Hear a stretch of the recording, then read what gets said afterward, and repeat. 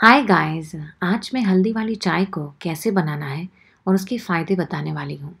ये चाय या तो ग्रेटेड फ्रेश हल्दी या हल्दी पाउडर से बनती है और आज मैं हल्दी पाउडर यूज़ कर रही हूँ। आप चाहें तो घर वाला पाउडर भी यूज़ कर सकते हैं या फिर ऑर्गेनिक हल्दी पाउडर ले सकते हैं। उसके लिंक्स मैंने डिस्क्रिप्शन बॉक्स में दिए हैं। मेरे पास जो मग है, वो दो कप का है।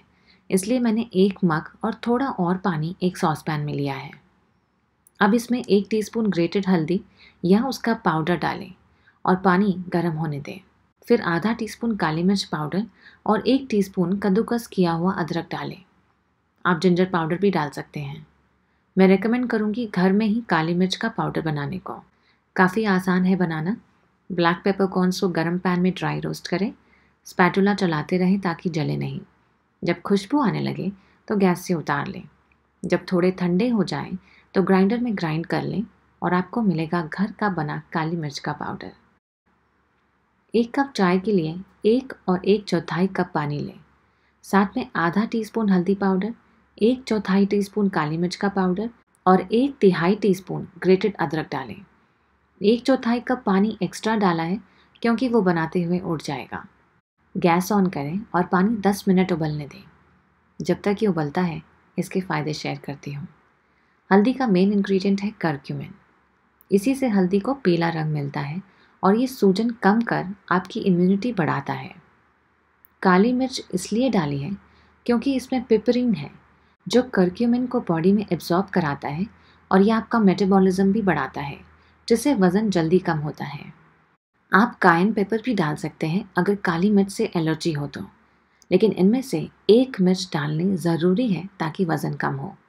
नहीं तो सिर्फ़ हल्दी वैसे काम नहीं करेगी जैसे उसे करना चाहिए। अदरक आपके ब्लड शुगर कोलेस्ट्रॉल और लिपिड्स को कंट्रोल में रखता है। इसमें थर्मोजेनिक इफ़ेक्ट है, जिससे आपके बॉडी का टेम्परेचर बढ़ता है और जमी हुई चर्बी जलती है। ये चाय क्रॉनिक लंग कंडीशंस जैसे अस्थमा पल्मोनरी और सिस्टिक फाइब्रोसिस वगैरह ठीक करेगी। इसमें एंटी डायबिटीज़ प्रॉपर्टीज़ है और ये लिवर डैमेज और गोल स्टोन से भी बचाती है।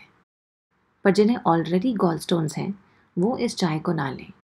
आर्थराइटिस के सिम्टम्स भी कम होते हैं और इम्यूनिटी बढ़ती है। इस चाय से आपकी बॉडी करक्यूमिन आसानी से एब्जॉर्ब करेगी, जो कि वैसे मुश्किल है। पीसीओएस के लिए भी अच्छी है, क्योंकि ये हार्मोन्स बैलेंस कर डिप्रेशन कम करेगी। डायबिटीज़ वालों का भी ब्लड शुगर नॉर्मल हो जाएगा।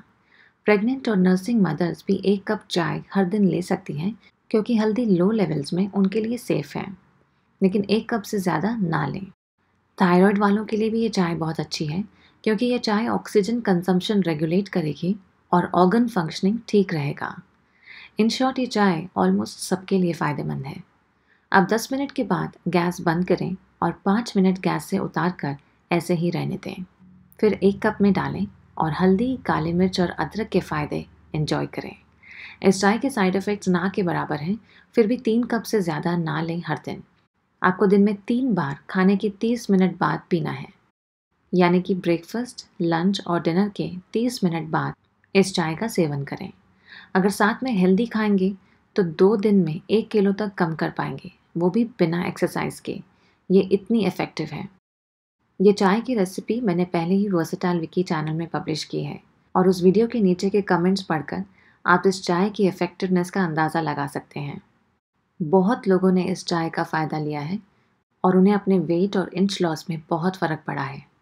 तो आप भी अब इस चाय को पीना शुरू करें और अपनी चर्बी गायब होता देखें। वो भी वहाँ से, जहाँ से फ़ैट कम होना काफ़ी मुश्किल होता है, जैसे कि थाइस, हिप्स, कमर वगैरह। आपकी बॉडी पतली हो जाएगी कुछ ही दिनों में। ये तीन इंग्रेडिएंट्स सबके घर में होते हैं और अगर साथ में लें तो ज़िंदगी बदल देंगे। अगर ये जानकारी अच्छी लगी हो तो वीडियो लाइक ज़रूर करें। चैनल सब्सक्राइब करना ना भूलें और जल्दी मिलूँगी एक नए वीडियो के साथ। तब तक हल्दी को अपनी ज़िंदगी का हिस्सा बनाएँ, क्योंकि यह सिर्फ़ एक मसाला नहीं, बल्कि एक सुनहरी, जादुई बूटी है। बाय